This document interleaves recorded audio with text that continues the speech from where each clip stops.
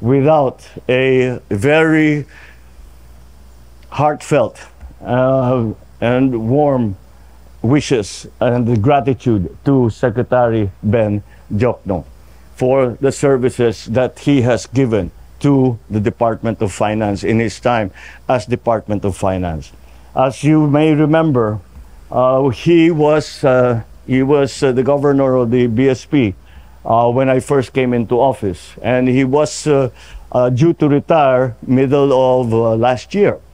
But we, I think we all ganged up on him and asked him to please continue uh, as Department of Finance simply because we had to get the economy, we had to get our policies onto the right track.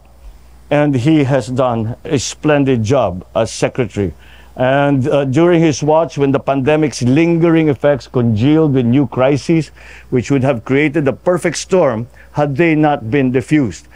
Being one of our country's pillars of economic management, we shall continue to rely on your expertise and exuberance as a member now of the Monetary Board. Maraming maraming salamat from a grateful nation, Secretary Ben Diokno.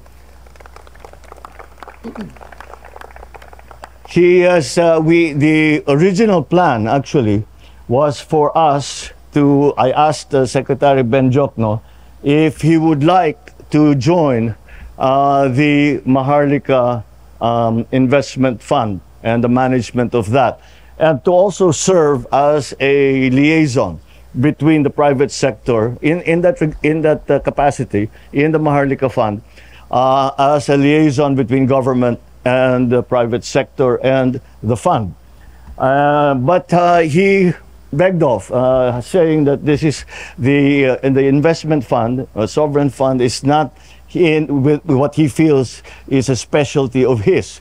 So he will return to his purely financial duties now in the monetary board.